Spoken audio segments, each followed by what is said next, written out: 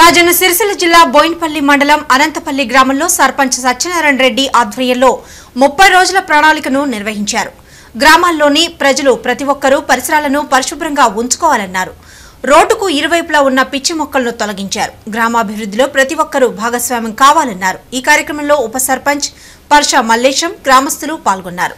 ప్రజల ప్రజల భాగస్వామ్యంతో ఊరు బాగు చేసుకోవాలనే ఉద్దేశంగా శ్రమదానం చేయడం జరిగింది.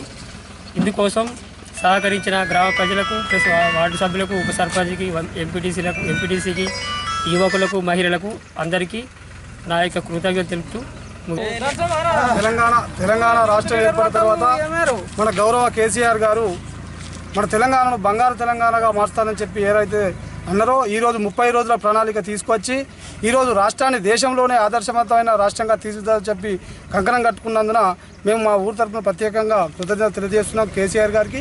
అందులో భాగంగా మా అనంతపల్లి గ్రామాన్ని మేము మా మండలంలోనే మంచి గ్రామంగా పరిశుభ్రత పడ పరిశుభ్రత గల అనంతపల్లిగా మేము తీర్చిదిద్దామని చెప్పి మా సర్పంచ్ గారి ఆధ్వర్యంలో మా యువకులు వార్డు సభ్యులు మహిళలు అందరి సహకారంతో మా గ్రామాన్ని పచ్చదనం పారిశుభ్రత మరియు ఈరోజు శ్రమదాన కార్యక్రమం